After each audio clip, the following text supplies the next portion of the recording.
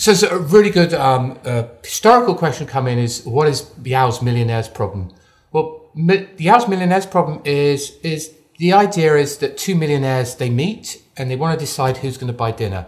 And the one that's going to buy dinner is the one that's got the most money. But how do they actually work out who's got the most money? Because they don't want to reveal to each other what the uh, how much money they they've got.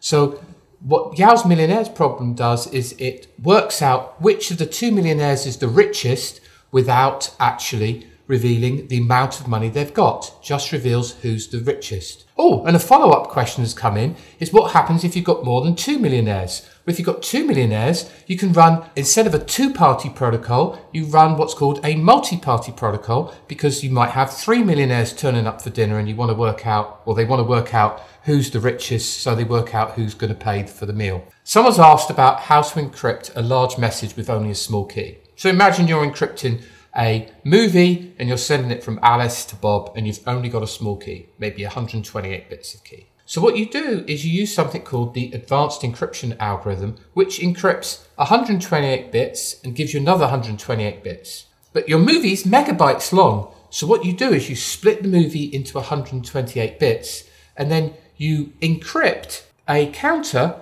and then you use that encryption of the counter to encrypt each block of the movie. So each block is encrypted in a way that it has to be in a given location because it depends on which counter. So block zero is encrypted with block counter zero, block one is encrypted with block one, block two, block two, counter two, and so on. So someone's asked, where should they study cryptography?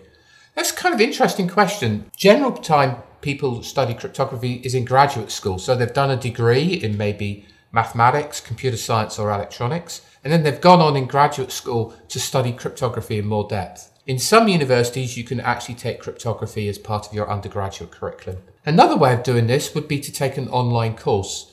So there are a number of online courses out there are for studying cryptography, but most of them require you to have a very good background in mathematics or theoretical computer science. So it's always a good idea to do mathematics first or computer science to be able to get the necessary background to start these courses.